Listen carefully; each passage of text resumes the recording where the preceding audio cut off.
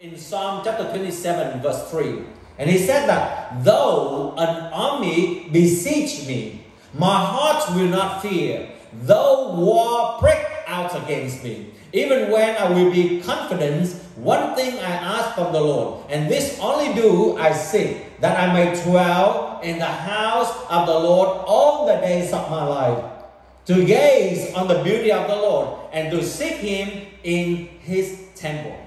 Verse number 5, he said that for in the days of trouble, He will keep me safe in His dwelling. He will hide me in the shelter of his sacred tent and set me high up on a rock. Then my head will be exalted above the enemies who surround me at his sacred tent. And I will sacrifice with shout of joy. I will sing and make music to the Lord. Amen. Hear my voice when I call, Lord. Be merciful to me and answer me. My heart say of you, seek his face. Your face, Lord, I will seek.